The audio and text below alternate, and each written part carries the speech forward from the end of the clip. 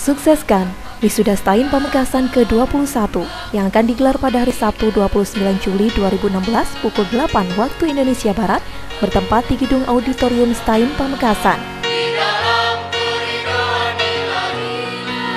Stain Pamekasan mencetak sarjana Islam yang kokoh dalam akidah, unggul dalam ilmu, profesional dalam karya, dan mulia dalam akhlak.